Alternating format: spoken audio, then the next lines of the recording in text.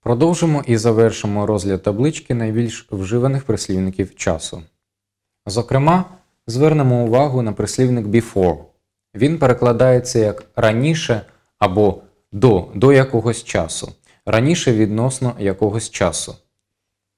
Lately перекладається як нещодавно, а recently також може перекладатися як нещодавно, але має також і переклад як останнім часом.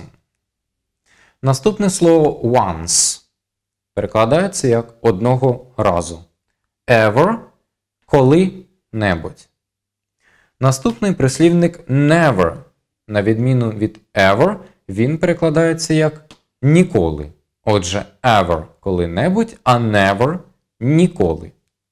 Наступний прислівник always завжди, а seldom перекладається як рідко. І наступний прислівник usually, вже вам відомий, він перекладається як зазвичай. Також серед найбільш вживаних прислівників часу слово sometimes перекладається як іноді або інколи, already вже і yet перекладається як досі, у сенсі ще не дія, ще не відбулася, досі не відбулася.